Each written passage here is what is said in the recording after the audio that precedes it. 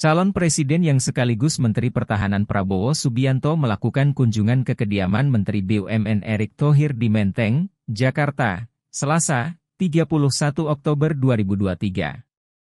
Dalam kunjungannya kali ini, Prabowo berkesempatan untuk makan siang bersama dan berbincang akrab dengan keluarga Erick Thohir.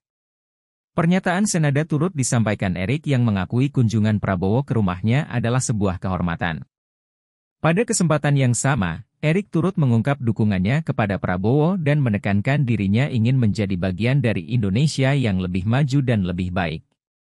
Selain itu, Prabowo mengapresiasi dukungan yang diberikan oleh Erik.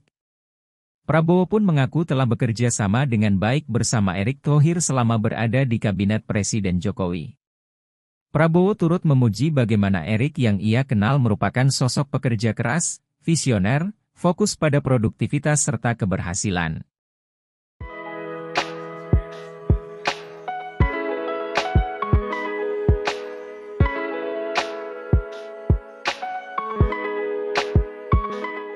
Download Tribun X sekarang. Menghadirkan lokal menjadi Indonesia.